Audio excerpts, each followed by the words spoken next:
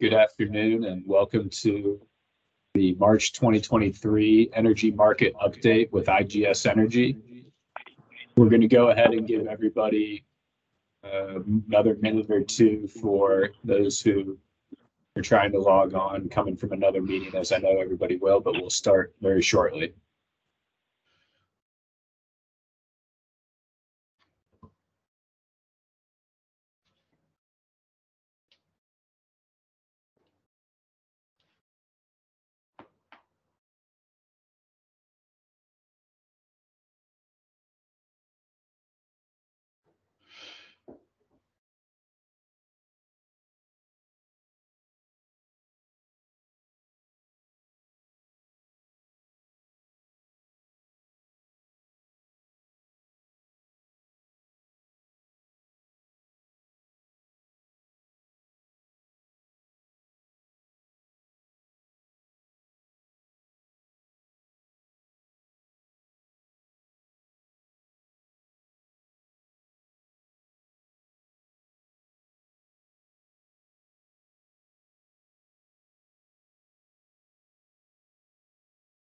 All right.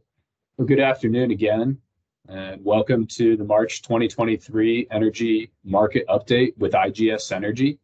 A lot has happened in the energy space since our last update uh, in the late fall of 2022. Uh, this afternoon, we'll hear from Paul Leanza, IGS's Director of Gas Supply, and Joe Hagan, IGS's Senior Director on the power supply side, on what's happened during that time, why, and where the markets may be headed. Uh, from COVID to the Russian invasion of the Ukraine, then the Freeport LNG explosion, followed by a record warm winter, uh, the roller coaster of supply and demand has continued. Uh, as we go through the conversation this afternoon, please utilize the chat to send any questions that you have, and I will facilitate those to our presenters as we go through. Uh, I realize that no one logged on today to listen to me, uh, so let's get to it, Paul. Tom, that's not true. I listen. I wanna listen to you. Um, okay, well, we'll get going here. Uh, we'll start with natural gas, and then we're gonna switch to power, and maybe to switch it up a little bit, I'm gonna go over the fundamentals, but I'm just gonna fly through these pretty quickly. I really wanna spend more time on volatility, and I and then hit hedging, um, and uh, you know, just because so much has changed. But to uh, hit on the fundamentals, if we look at um, production, so towards the end of last year or mid last year, we we were around 95 BCF a day, Uh, and we ramped up to uh, 98 BCF a day towards the end of uh, towards the end of last year. What was interesting, too, a little bit last year, is that the Northeast producers, they typically, um, you know, make a push to um, to increase production, and they did not do that this year, which was uh, actually kind of worked out in their favor. Because had they done that, I think, you know, we'd be in a little bit more oversupplied situation than than, you know, maybe what we are right now. Uh, moving through towards this year, uh, you know, we're sticking right around that 98 BCF with some freeze-offs here and there, but, you know, we're right around 97.5, 98 B um, uh, a day at this point, which is probably, you know, maybe a little bit on the strong side for us right now. I do wanna just say that right now, um, the you know, I get my data from from Platts, Uh, which everyone has kind of a different source, but as long as you use the same source over and over, uh, we should be fine. Uh, from the EIA, you know, they have us being right around 100 B a day, but even kind of more importantly, they're projecting, um, going out through the end of 2024, that we're not gonna increase much. So we've had some big increases Uh, uh, over the years, uh, but right now, we're going to they're suggesting that we stay right between 99 and 101 BCF a day. Um, and their numbers are gonna be a little bit higher than mine at this point, just given the the the place where I get it. To me, what's, I guess, more important is is total uh, is total net supply. So net supply is U.S. production plus Canadian imports minus exports, and this kind of gives you a nice view of how much internal supply or how much supply in the U.S. is available uh, to meet the demand within the US. And if we look at this solid black line, um, which is 2022, you know, we were kind of floating right between 80 to 82 uh, BCF a day, and that proved just not to be enough supply uh, at that point. So the prices started going up in the spring, and we just did not make any headway. You know, uh, the production wasn't increasing as quickly as the market wanted to. But then we we uh, I guess you could consider it a stroke of luck if you wanted production to come up. Um, Freeport LNG went down. Our net supply increases. We were up around the 84, 85 level. Production started to ramp up, and next thing you know, we're at 85, 86. Uh, but really, at this point, the damage was already done. Uh, from a uh, from a supply standpoint, we were storage was falling way behind, uh, and production just wasn't keeping up as as much as it should. And then towards the end of the year, uh, you know, here we are at 86, and you know everything uh, is working out well. Beginning of this year, we're at 85. Freeport is coming back online, and we're at 80, around 83 to 84 BCF a day. And just given where storage is at, it's we're probably finding ourselves in a little bit of an oversupplied uh, position, not by a lot, but um, uh, the early part of the, the spring is going to be instrumental in in in just how quickly storage is filling up, and that's going to impact the price. Uh, Paul, I any noticed- questions I before we? noticed that I incorrectly advised our, our audience to use the chat function. There's actually Microsoft, knowing that we would use this uh, tool for this type of event, put a Q and A uh, option at the top as well. So if you have questions, please put them in the Q and A portion of the screen. Thank you. No questions as of yet, Paul. Everything's been crystal clear. Okay, good, thanks. Okay, LNG. Um, you know, back in the start of 2016, the US produced basically zero uh, LNG, and over the years, uh, we've increased that to 14 BCF a day. So right now, uh, Freeport is just trying to come back. Yesterday, it was um, uh, we were sending 1.7 B to Freeport, and this is a two BCF a day uh, uh, platform. So they're getting close to not being full up and running. They're still in the testing part, but um, uh, but we should see 14 BCF a day. Uh, pretty, you know, boy, as far as we can see, because the prices between uh, the U.S. and in in Europe really suggest that we should see, you know, LNG run full out. Our prices are, let's call it 250 to three dollars. Uh, and in Europe, they're running 13 to 14 dollars, and in in in uh, Asia, they're running 14 to 15 dollars. So, so there's just too much money on the table uh, to not run. You know, they'll go down for maintenance when they have to. Um, they'll go down for weather when they have to, but um, they don't really want to be down at this point. The important thing here, and the reason for this graph, is to show that you know, starting in 2024 uh, we are going to see a couple more facilities come online.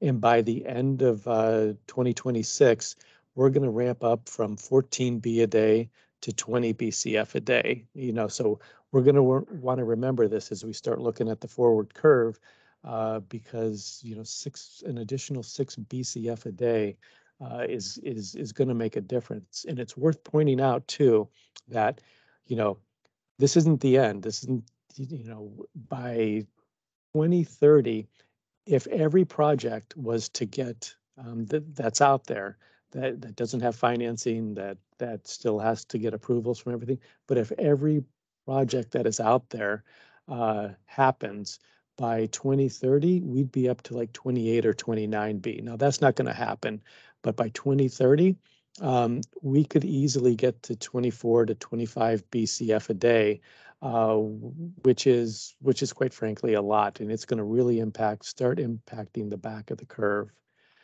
Um, on the demand side, as Tom mentioned, you know we just haven't had much of a winter. So this map shows uh, from November one through the end of February uh, just what uh, you know just how warm we've been, And if you look at this from a heating degree day perspective, which means it's gas weighted, uh, a lot, most of the demand is going to happen uh, in the east. You, even though it's cold, uh, you know, in the mountain area, there's just not much demand there.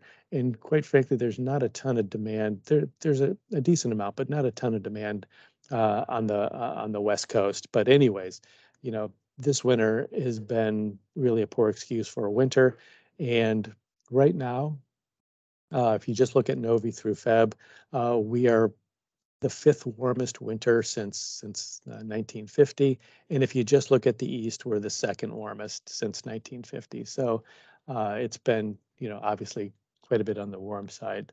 One of the more kind of interesting things too is the, you know, just how power burn has been affected. So we have natural gas fired uh, generation, and year after year, it's just increasing. You can look at the base load function um, in in you know uh, in the in the shoulder periods and it's going up you can look at the peak periods in the summer and and it's um it's it's it's going up and what's interesting is that last summer prices were very very strong and that's that still did not deter uh, any type of gas generation um, at uh, at this point. and um, I'll which is which is okay in the summertime, right? Because you know, this, if there's any flexibility uh, in the gas system, it's going to be in the summertime. But uh, you know, more and more often, we are seeing the power burn come in during the winter. Uh, so when we were right around Christmas time, when we had that really cold snap, you know, we all of a sudden we see this giant spike uh, in power, and and and power uh, didn't have a choice. You know, all, all, the coal that could run was running, uh, so they had no choice but to call on power and and just really kind of ramp up the price. As a matter of fact, um, and you know, right around Christmas on the 23rd, which was the peak day, uh, U.S. demand for natural gas uh, was over 160 BCF uh, for that day, and then the next day on the 24th which is New Year's Eve, I'm sorry, Christmas Eve, we were at 152 BCF. And, and quite frankly, you know, had that not happened over Christmas, uh, those numbers would have been a lot higher. Had that happened in, let's say, a you know February on a Wednesday, these numbers would have gotten uh, uh, very high. It, and it didn't help either that uh, we lost about 14 BCF to freeze offs at that point. But what's happening in the winter now is is is not good for gas. Uh, you know, there's just too much competition. There's competition for heating load. There's competition for industrial load. Uh, there's competition uh, for power demand, and there's competition for LNG at this point. Um, any questions before I move on? Paul, we did uh, receive a question asking about the expected start of Freeport exporting. I know that's uh, going to be a, a, a, ramp up answer, uh, but from you and Joe, the expected start of Freeport to export again. Um, so yesterday or the day before, they hit 1.7, uh, and then I believe today they were back down to, you know, uh, a third of a a third of a BCF. So it's it's going to be intermittent, but the plan, as far as I know, is that they have the approvals uh, to not run full out. They've they've uh, uh, they've they do have some issues that they have to work around, but they should be able to get up to two, uh, pretty close to two BCF, you know, within weeks here. At that point, now when they're up fully up and running, um, might be about another month. You know, so they have to get. Uh, they have two berths uh, where there where ships can pull up and, and load. Only one of them is operational right now, and I believe they have three storage tanks, uh, and only one or two of them is operational uh, right now. But for all practical purposes, you know they're they're they're trying to get up as quickly as possible. Thank you. Uh, another question that came in from the last slide was, what is a freeze off? Oh, okay. That's a that's a really good question. I'm sorry. Uh, so freeze offs when when it gets really cold outside, um, there is, you know, gas comes obviously it comes out of the ground. um, and it comes out at a lot of pressure. So when you add high pressure to cold temperatures, you end up the the the, the gas inside the um, the pipeline uh, starts to freeze because it's not all gas. There's there's a, a, good chunk of liquid in there too. So because of all the pressure and because it's so cold, and and you know there there were you know places here in the Northeast where we didn't get above zero. Um, so between between the liquid in the gas itself and the um, in the temperatures, it really amplifies the uh, you know gas freezing uh, and it just at that point then just blocks the blocks the pipe and they've got to they physically have to go out with heaters or or um, antifreeze they have to inject antifreeze into the uh, into the pipe to sort of break things up you know and then you know on the other side there's um uh, processing because the gas has liquids in it it goes right to the a processing plant and all those processing plants are are, are above ground and they'll freeze not easily, but uh, but they'll freeze also. So we lost gas because of the product freezing, both at the wellhead um, and and at the um, uh, and at the processing plant. Thank you. Good. Okay, and then just real quickly, uh, you know, we'll go over storage here. We came uh, we came out of uh, last last winter on the low side, roughly 1.3 TCF in, uh, in, in, in gas and storage. We like to be around 1.7. 1.7 is kind of considered the comfort area. So we were below that. Uh, and we just because of you know the lack of production we really kind of struggled to keep up with the five year average and we were hugging the the, uh, the the low side of the five year average and then we got a boost when freeport kind of went off. Uh, and the expectation was that we would ramp up to the the uh, five year average line, uh, but that didn't happen. We got uh, we ended up getting uh, probably you know warmer than normal in the summer, and next thing you know, we're back to hugging the uh, bottom of the five year range. And this is when prices really kind of started to take off because the expectation or the thought was, you know, we wouldn't enter into the winter with 3.6 or something anywhere even close. People were saying 3.2, 3.3, uh, which just really isn't a great level to be at going into the winter. As it turns out, it didn't matter because we didn't get much of a winter, uh, and because of that, we're hugging the top end of the uh, of the range, and it's kind of driving prices, uh, keeping keeping a lid on prices for right now. Um, okay, so I wanted to get into the kind of the meat of this, which is the volatility uh, in the in in hedging. So in 2022 was a record year for for volatility, and if you kind of look at the fact that there are about 250 trading days uh, in any given year, you know, you're throwing out the weekends, you're throwing out the holidays, so you're looking at 250 days. And of those 250 days, 46 days, when you look at the change from one settlement, so like today's settle to tomorrow's settle, you know, just day over day change. Uh, that change, there were 46 days where that changed by 7% or more. So what we're saying is one out of almost one out of every five days changed by 7% or more day over day. And that's crazy. And, and I, I think everyone kind of on this call was living that day to day and everyone's going, hey, why are we changing? Why are we changing? And the fact is that that was just kind of the norm last year on, on you know, that we just saw ups and downs, lefts and rights kind of all the time. And if you were to look at, you know, what was the absolute price change day over day, this was just the average. We were at, you know, 28 cents basically. Uh, historically, you know, it was right around 22 cents was the uh, peak before, and we were at 7% this time, and the the previous peak was back in 96 with only 35 days. So by any way to measure volatility, last year was um, last year was was by far the most volatile. All right, so we're going to look at vol. We're, we're going to break this down into what is short-term volatility and what is long-term volatility. And the reason we're going to do that is it's going to kind of set the pace or the tenor for how long you want to you want to hedge, right? So, uh, so we're going to break this up into short term and long term, and always in the short term bucket, you can throw weather. You know, so weather's always going to, uh, always going to hit, always has, always will hit.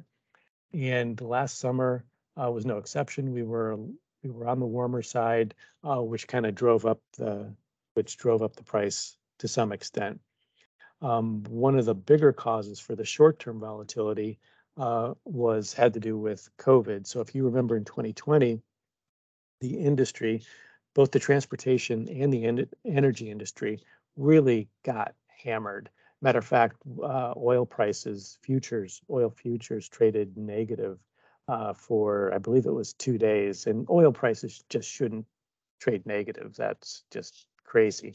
So that shocked the producers uh, to see that, and the producers went into they would just go into survival mode at that point. They lay off employees and they do what they can to protect cash uh, just to survive the, you know, kind of what's coming at them at that point.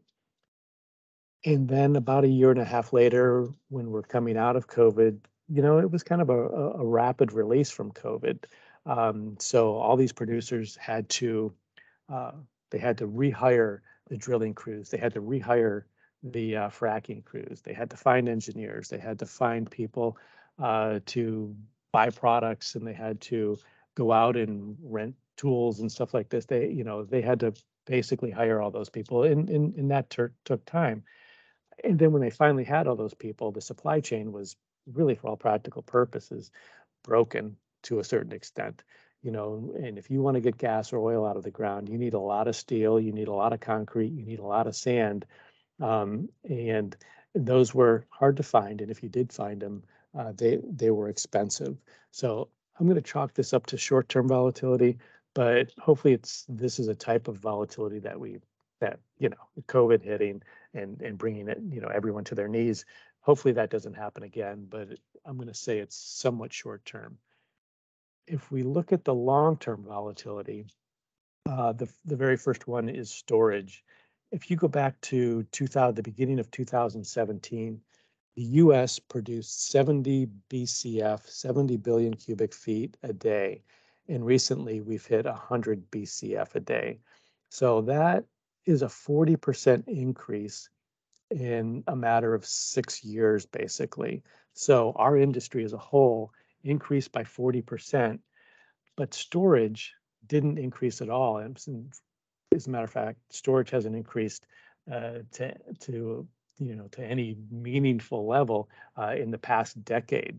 So the one asset, storage is about the only asset that gas has um, that's going to smooth out the daily monthly and seasonal swings. So if you increase your your industry by 40%, you're going to max out on those swings. You know, you're going to hit your limits both to the high side and the low side, and that's going to create a lot of volatility. You're going to see it in the day market first, and quite frankly, we've already seen that.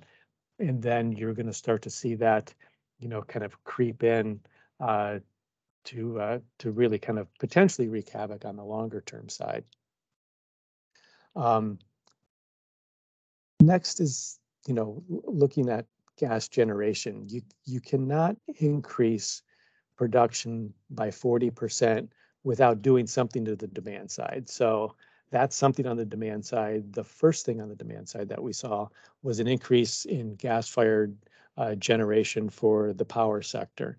Uh, so gas-fired generation was increasing by by leaps and bounds, and it was knocking coal uh, out of the stack. And as a matter of fact, for you know over the last decade, we've seen uh, coal retirements at the pace of you know roughly you know half. So what the the coal industry 10 years ago um, was X, and now we're we're um, half of that uh, right now. In the short term, that's perfectly fine uh, for for natural gas uh, you know, during this transition period, because when you need gas for heating or increased industrial load, the price of gas rises uh, to the extent that it brings coal back into the power stack, and the power stack says, "Hey, gas, you're just too expensive for me. Um, why don't you, you know, go ahead and take care of the of the heating side?" And everything works perfectly. Everyone's happy at that point. Um, But coal then hit a point where there just wasn't enough coal in the stack to take the, you know, to to to give gas that freedom to go do other things. And we started noticing that in um, in uh, 2021.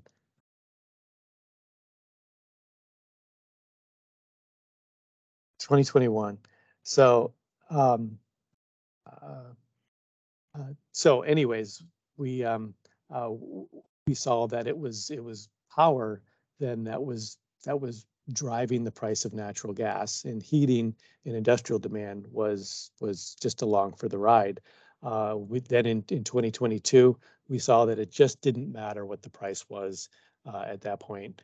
Uh, you know, it power needs power needs um, the, uh, uh, the, the the gas for generation, and it um, uh, it didn't matter the price. This year, we're seeing this sort of swooshy thing which is at low prices, whatever coal's out there, we're going to, uh, you know, going to knock that out of the stack. All right, um, and then exports too. Uh, we've known that LNG uh, in 2016 was zero. Uh, it's 14 BCF a day now. This just adds one more thing competing for gas, uh, for natural gas into the equation. Okay, so what does this mean for for hedging at, at this point. So it used to be, you know, you could lock in your prices uh, for one year in September. You could avoid the hurricanes. You could avoid uh, the potential of cold weather. And then next September, you could do the same thing. But because we have all these longer term, um, you know, kind of volatility factors coming in, we need to take a longer term approach. And that longer term approach is hedging three to five years um, uh, you know, just having a horizon that's three to five years. And more importantly, you want to have the first year completely hedged um, at that point. And then when we get some dips, you can look further out the curve to year two and year three. And either you can, when we get those dips, you can take them out um, or, or, you know, take out layers at that point. So the first thing we want to do in this kind of situation is to say, what is the fair price for natural gas? What is the long-term fair price for natural gas? And I have two curves here. One is the blue one is from uh, late November. Uh, and this kind of orangey one is from is from mid-February. So you know, kind of looking towards this part of the graph to get because this this front part of the graph isn't going to tell you what the really the fair value is for gas. It's going to tell you what gas is worth, you know, for the upcoming season or the month. Uh, so we want to look towards this part of the curve, you know, four and five years out to see what the market is telling us. So in November, the market was telling us, you know, the fair price for gas was around 450. And in mid-February, it was three, you know, it was telling us, hey, we're at 390. So if we call uh, the fair price for natural gas anywhere between basically four dollars and and and, and four dollars and and, and 50 cents, you know, now we can start to work backwards a little bit to figure out, you know, how are we going to set our, you know, at what price do we feel comfortable layering in when we have the opportunity?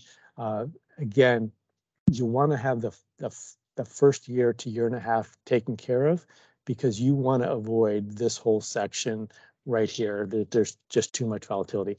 And if you say, hey, Paul, hey, I've locked in at 350, 350, 360, 370, I'm missing out on the opportunity to get this 250 gas here. Um, you know, is there a way that I can participate in that? And and the answer is, in this case, when you when you do this, the answer is no. But if you're losing sleep over this, then we just kind of throw this hedging methodology out and look at something that's more options related uh, at that point. And quite frankly, my guess is you're not going to like that options standpoint because there's just um, uh, because because of all the volatility, options are really expensive at this point. Um, I'm going to talk about two. Any questions before I go on to this I'm I'm going to try and hit on like what we expect in the future. Uh, None that have come through since the last one, Paul, but I'm sure some of these slides will have some questions to come with them and I'll, I'll pause you. Okay. they are.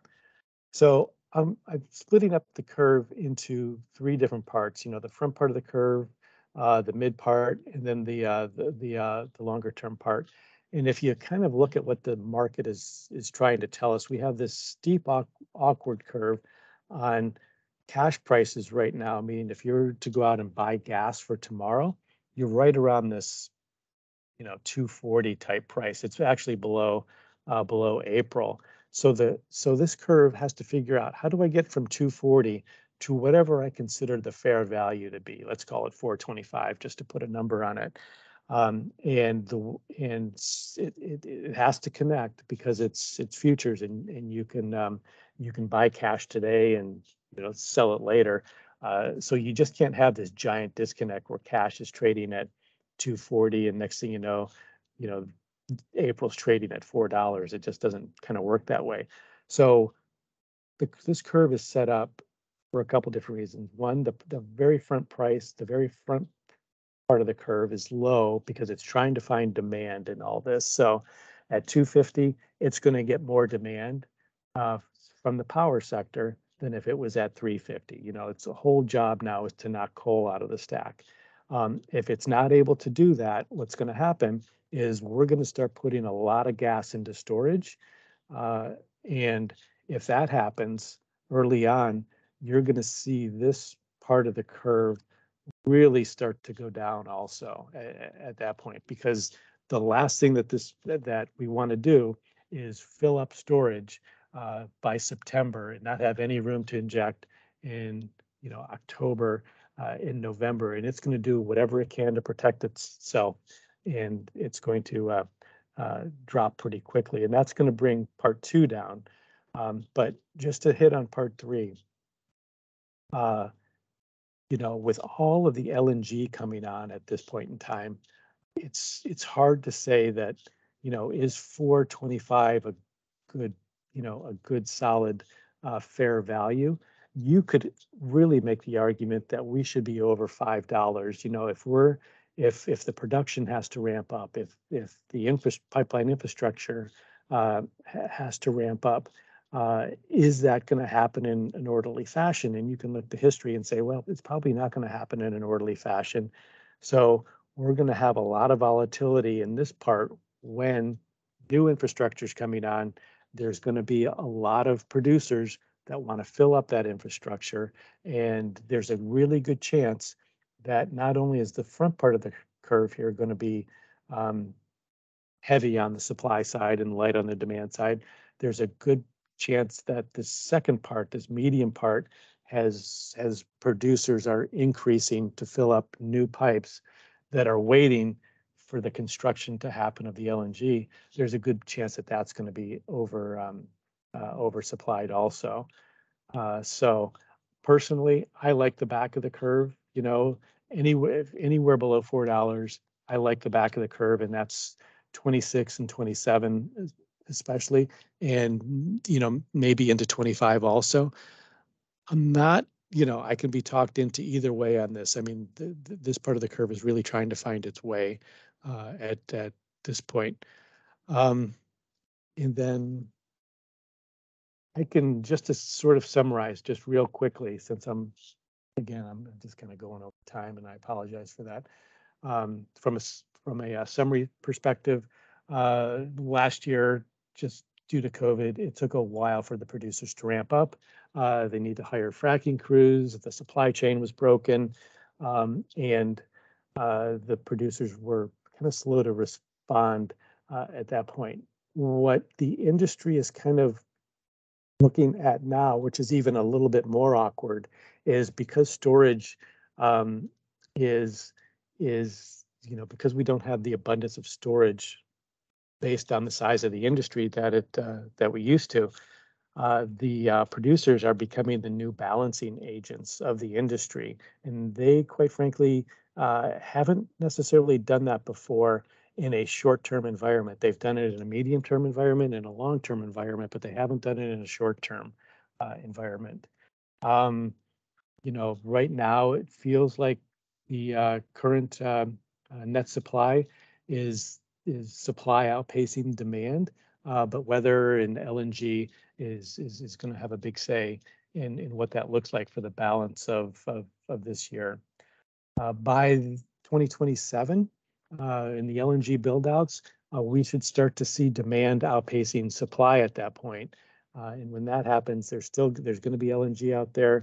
You know, the power industry is going isn't going anywhere. We're still going to need heating, uh, you know, gas for heating demand and industrial demand.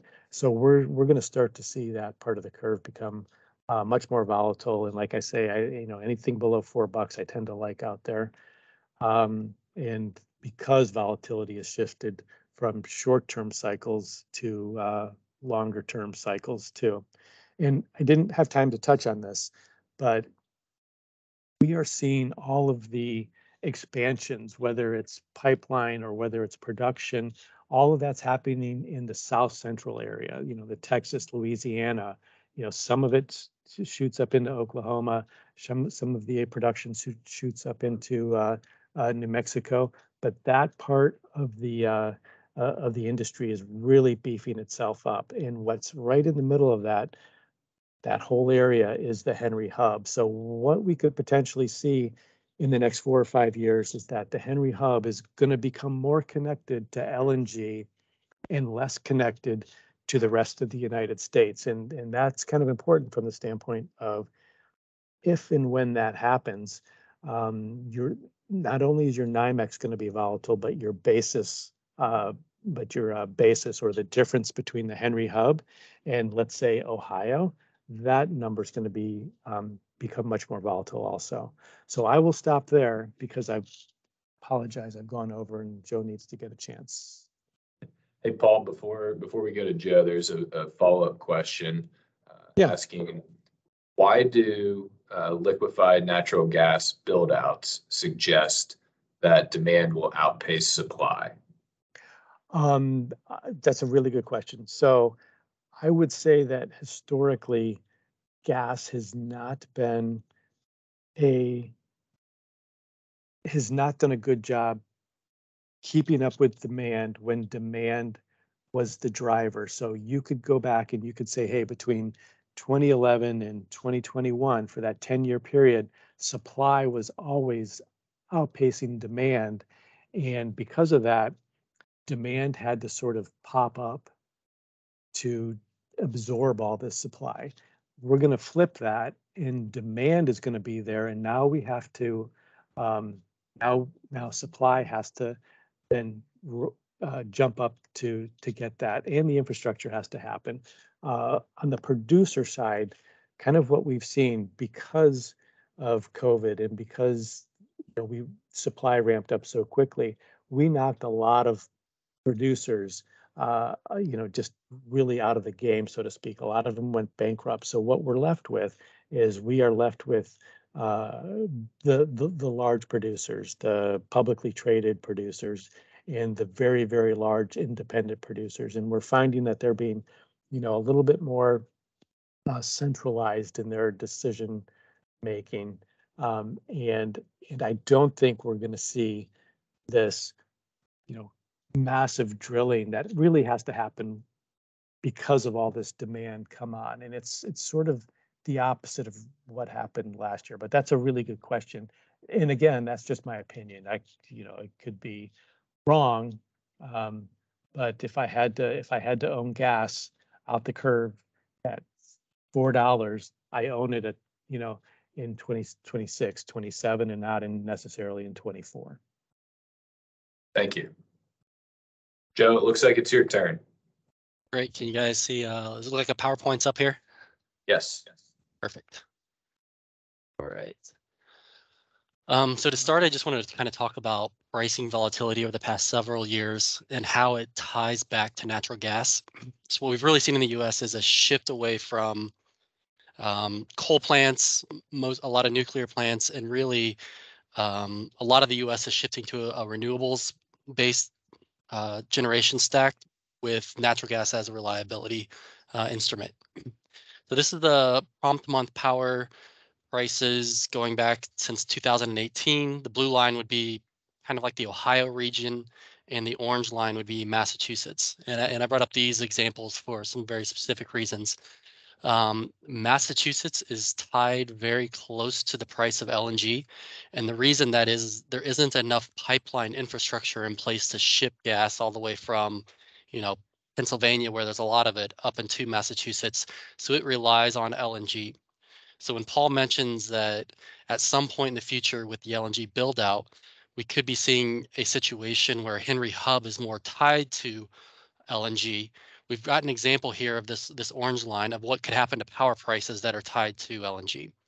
Um, and so what you see is that you know over the past five, six, seven winters, you see this small bumps but really, with the volatility we saw in, the, in gas prices over the past year, the volatility in what we saw in Europe um, and Asia, uh, you can see just kind of that impact and what it has to power prices as we go through the winter.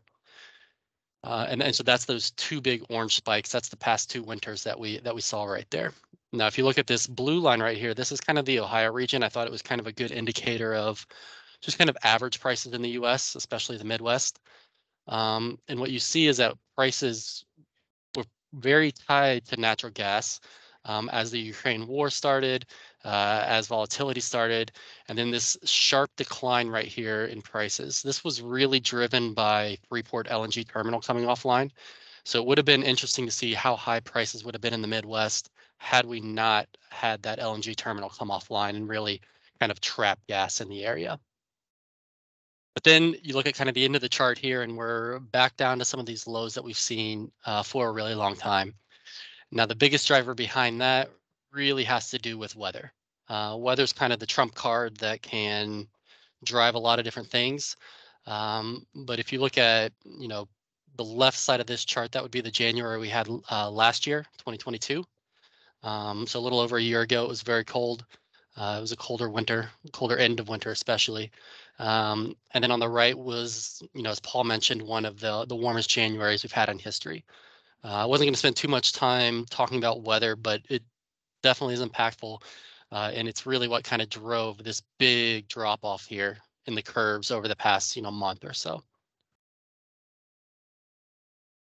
But I did mention, you know, we're kind of in a grid that's shifting between different resources. Um, uh, so what you see on the left is the generation share going back since 2019 in the PJM region. Um, for those who don't know, PJM is the regional area of the power markets that starts in Chicago, goes through Ohio, Pennsylvania, and part of the East Coast. Uh, and so you can see there, it's um, not a lot has changed over the past four years, but there has been some change, primarily with a decrease in this blue stack here, uh, which would be coal and an increase in the share of natural gas, gas which is this orange chart here. Um, but you can see just, you know, from two Januaries, taking a snapshot in time, really all that's happened is if you've seen uh, coal here shift to natural gas um, and natural gas really taking up this share of coal retirements. And we haven't had a ton of renewables in, in this portion of the US uh, compared to some other regions. But we do know there are areas in the United States where there has been a lot of renewable generation built out. Uh, and one of those primary examples would be in ERCOT, um, which is the, the Texas area. Uh, and so what you can see right there is, um, you know, just looking at the renewables on uh, January 2019, renewables served about 13% of the demand. Uh, and then over the course of four years, huge build out of solar and wind. And on this day in 2023, it served about almost 50% of the demand. And really all that's being backstopped with reliability by natural gas. So you'll see, um, you know, if there's a, a, lot of renewables on the grid at any time, gas really is the one that goes down um, in, in its output. Uh, and so, but if the renewables aren't able to produce, then natural gas is really what um, makes that backstop.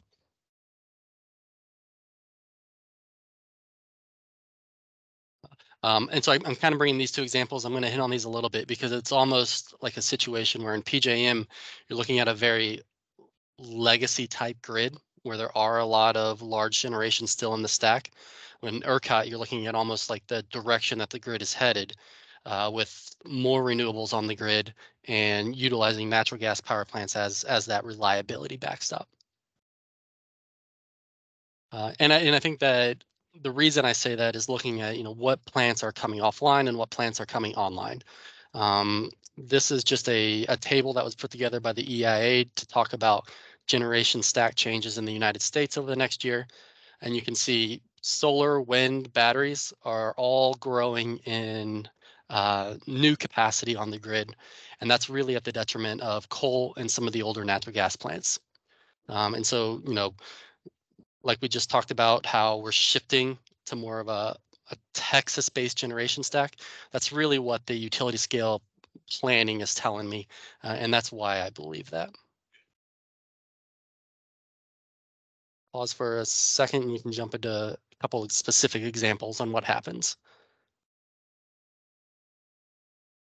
Cool.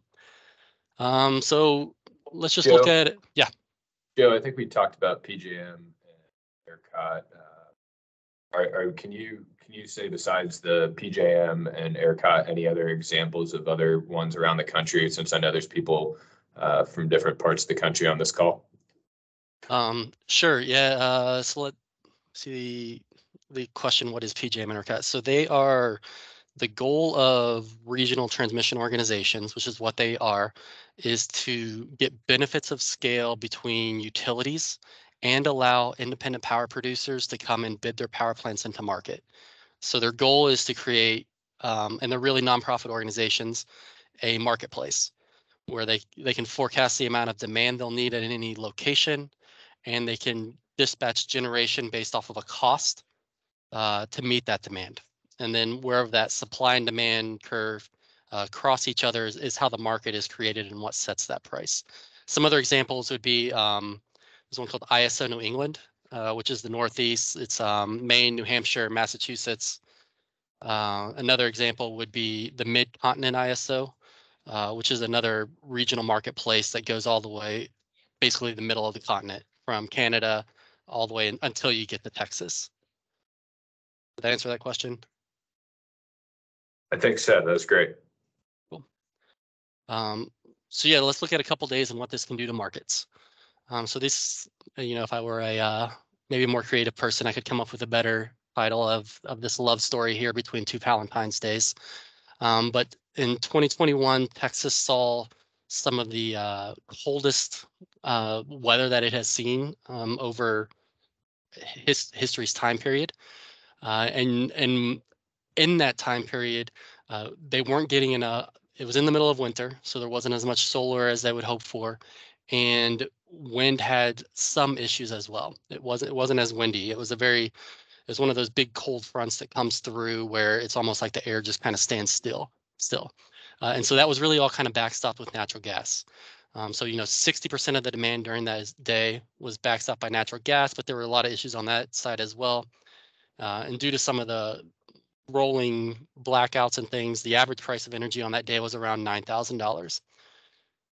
So if you have a grid that's going through extreme weather, that's having issues getting natural gas plants online due to weather, that isn't getting the renewable build out delivering to the same level that it could, you end up with very high prices.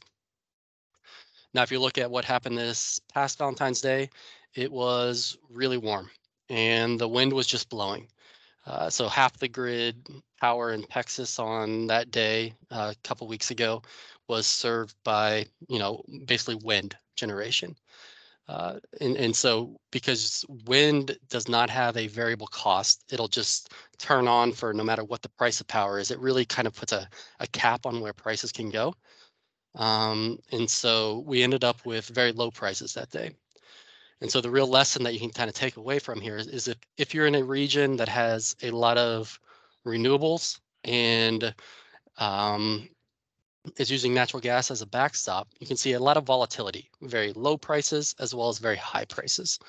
Um, it, so that's one thing to keep in mind as we look at how the grid is going to behave in the future. Um, uh, the next is PJM, so kind of this Midwest region between Chicago and uh, Pennsylvania. Um, we had the polar vortex of 2014, which for years was one of the coldest spells that we had had. Uh, and so I went and took a look at, you know, what do prices do during that time period, you know, nine years ago. Um, and the average price during that those that day those days was about $432, which is still pretty high. Um, but you still had a decent amount of coal in the stack. You still had a lot of a lot of things there to deliver. Now, fast forward, you know, seven, eight years uh, to the stack that we have in place today, and over the uh, Christmas holiday, we had a very similar weather pattern breakout. Um, and there were different rules that I'll talk about in place to make sure plants are reliable in that time period. Uh, but the average price was more than double. So how can you have this shifting generation stack, similar weather, end up with um, very different prices? Uh, and, and that all has to do with kind of the, the tie to delivered natural gas. And when I say delivered natural gas, you can talk about the Henry Hub that Paul talked about. And then how do you get it either from you know, Louisiana up into the Midwest, or how can you utilize the production that's in kind of Pennsylvania, the east side of Ohio, and, and get that delivered? Um, because during those time periods, you're really competing for other resources, like Paul talked about, like um, building heating, things like that. Uh, so I thought this was a really good example of how you can have a, a changing dispatch stack that relies more on natural gas that can see higher prices than you would have seen historically. So not so a good example of how um, past results don't necessarily forecast what can happen into the future. Um, so we talked about two kind of things that can happen on the grid. One is, you know, how low prices can go with a lot of renewables and mild weather. The other with how high prices can go when you have a lot of natural gas uh, and extreme weather. Um, but what really happened over the Christmas break brought to light a couple things, and I know Paul, Paul talked about this a little bit about uh, you know what price will generators pay to generate power, uh, or what price will generators pay for natural gas um, in order to before they start to shut down. Uh, and the chart on the left here is is an example of if you look at kind of this dark blue line right here, this would be 2017, and this is kind of traditionally what you would expect. As the price goes up, the percentage of generation served by natural gas should go down. And what that's telling me is that if prices of gas are too high, we're replacing our generation resources with something else. And in that case, it was most likely coal. Um, but what we've seen really over the past couple years is that as price goes up, um, those natural gas generators are just still there. They're still willing to pay for that gas, and and that's contributing directly to uh, some of the higher prices that we've seen on in energy um, over the past couple years. But look at what happened over this winter. So I, said there were some rule changes that came after the polar vortex. So the polar vortex of 2014, there was a lot of generation outages. Um, they were having issues getting them all online, and they came back and said, like, if we're paying you for reliability and you don't deliver, we are going to hit you with a very stiff penalty. And you know, over the course of the past, you know, six, seven, eight years, that hadn't really happened uh, in any large widespread area, except over this past Christmas, uh, really the 23rd, 24th of December. Um, and we saw a lot of generation plants, especially natural gas plants, weren't able to get gas delivered because of the freeze offs Paul talked about. And um, all of those plants right now are getting hit with a, a bill, and they haven't released final numbers, but they've estimated it to be between one to two billion dollars in in penalties. Um, so we've kind of extra, ex, extrapolated that out because you know with this elasticity thing, if it seems like hey at 950 plants are going to shut down, what sort of price would plants shut down at? And, and looking at the way penalties are instilled on these plants, we really need to get natural gas to go upwards to $185 plus per MMBTU in order to get any sort of natural gas pullback to where their penalties would be less than paying for the gas. So you can kind of see, you know, gas in this 950 range, that was a delivered gas price. It really needs to go a pretty wide stretch to the right on this chart in order to get any sort of reaction on uh, natural gas plants. Um, so I've talked about the, the stack a little bit. Uh, I'd be remiss to not talk a little bit about the Inflation Reduction Act because what that is really doing is that uh, shift that we saw in the generation stack from you know coal big baseload units to more renewables backed by natural gas is really going to be accelerated by this across the Midwest. Um, I stole this ch- both of these charts, but the chart on the left really talks about spending from the IRA. Um, and I know the font's small. Don't worry about you know exactly what it says. All that's really important for this chart is what's in that big dark green uh, section of spending, and that's all wind, solar, and storage. So all of a sudden, the people who are developing wind and who are developing other renewables like solar are getting a big infusion of cash, basically, to, to help them build this generation stack out more quickly. Uh, and you know there can only be so many plants on the grid, so who really comes at the detriment of this spending in its coal retirements? So uh, you know because of the Inflation Re- Inflation Reduction Act, I think we're taking this trend that we saw and really starting to to escalate that and, and have it happen a little more quickly than it probably would have otherwise. Uh, so that's on the supply stack side but this act is really impacting the demand side as well. Uh, and so this is something I'm paying pretty close attention to um, because as part of this act, there are two big chunks. One is what they're calling high efficiency home rebates. Uh, so there are very big rebates that go for things such as heat pumps. So switching from natural gas heat to electric heat, uh, you can get a big rebate for that. Um, electric stoves, uh, and also a, a, big electric vehicle tax credit of uh, $7,500 for a lot of vehicles. Um, so what's that telling me is that a lot of people are going to be using more electricity today than they had before.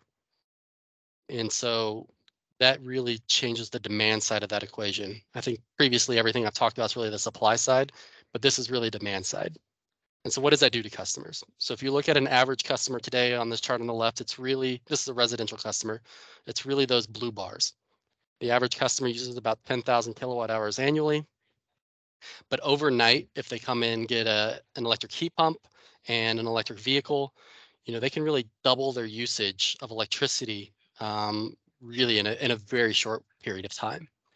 Uh, and, and, so when I talk, so when you think about that on more of like a widespread, a lot of spending through the, the IRA, a lot of customers switching over to using more electricity, we're now highly impacting the the demand side of this equation.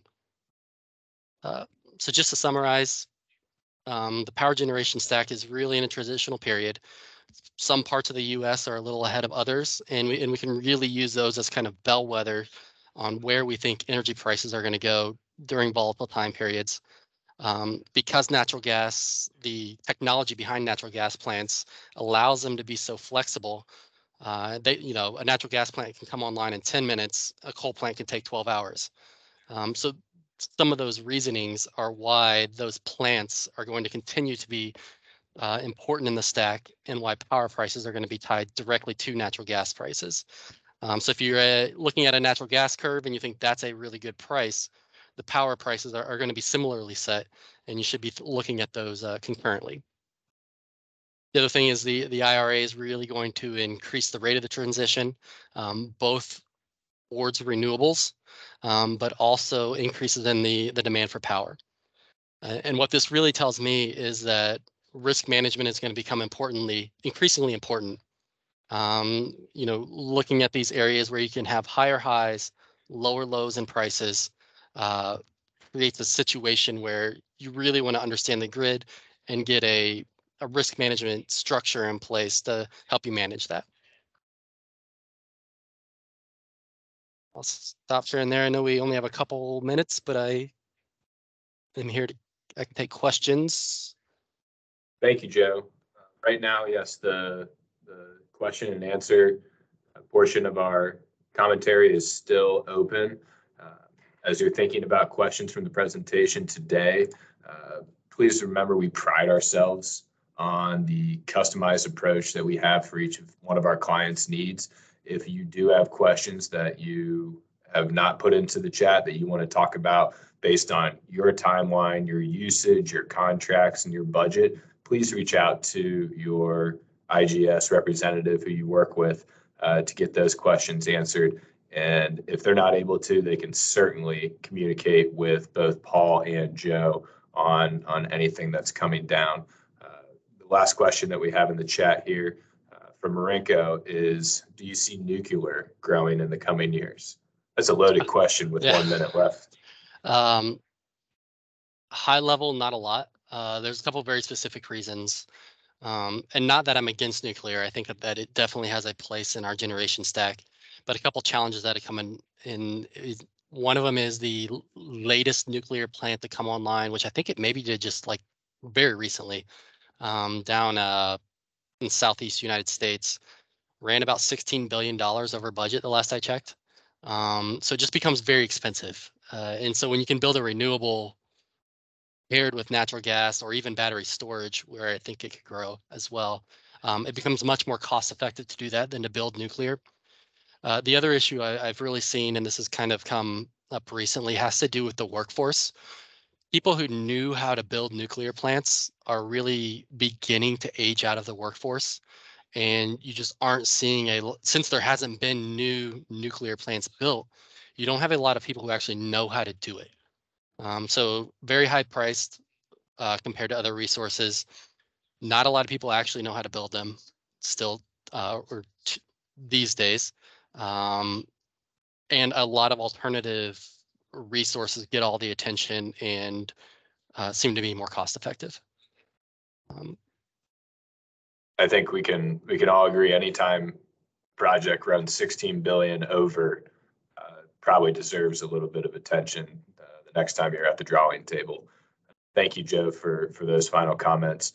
Uh, thank you, everyone, for joining today. Uh, please use this as a catalyst for more conversation, to have questions answered. Uh, we're never going to tell you that the market's going to go up hundred percent or that it's going to go crash down. Uh, sounds like the, the theme is volatility is, is probably a, a new environment that we should get used to. Uh, and, and we hope to be a partner with you uh, to get through this time and help you manage your energy costs the best way possible. Uh, thanks again, and we appreciate all of your business and partnership.